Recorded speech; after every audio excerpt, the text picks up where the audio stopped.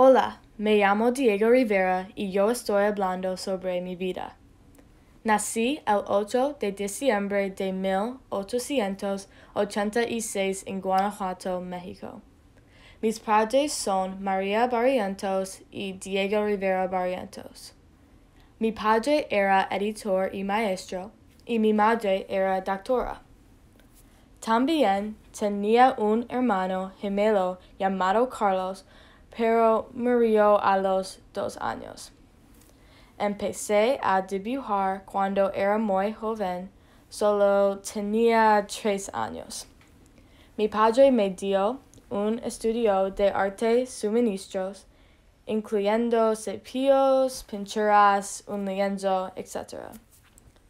Entonces, mi familia y yo nos mudamos a la Ciudad de México, en México. Allí estudié en la Academia de Bellas Artes de San Carlos. Eventualmente fui expulsado porque empecé una protesta cuando se de México presidente fue elegido. Tenía fuertes puntos, puntos de vista políticos y los puse en mis pinturas. Lo se fue a Europa para continuar con mi trabajo artístico. Me mudé a Paris y fue inspirado por muchos artistas me di cuenta de que no quería que la gente tuviera que ir a los museos a ver pinturas. Quería pintar murales en las paredes públicas. Quería que los murales tuvieran significado y mostré ideas políticas o religiosas. Me mudé de nuevo a México para pintar murales y frescos. Esto es mi primer mural, La Creación. Lo ha figuras religiosas y mitológicas. En la parte superior del mural hay tres manos que representan el Divino Trinidad. No me gusta mi primer mural porque pensé que, que era italiano. Después me casé con una mujer llamada Frida Kahlo. También era artista y viajamos juntos a los Estados Unidos.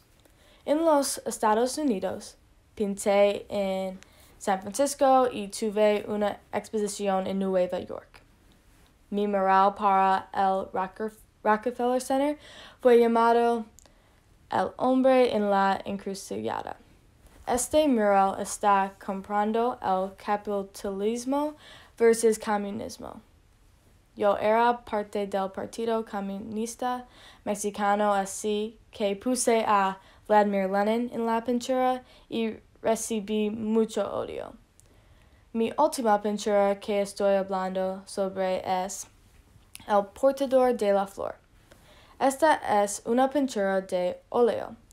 Usé muchos colores brillantes y formas geométricas. La pintura muestra a un campesino que llevaba una gran cesta de flores en la espalda. La canasta es mucho más grande que él.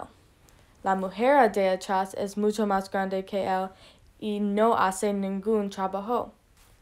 Eventualmente Frida y yo nos divorciamos pero se volvió a casar el año después. Fui a más exposiciones en los Estados Unidos y mi último mural fue llamado Historia Popular de México.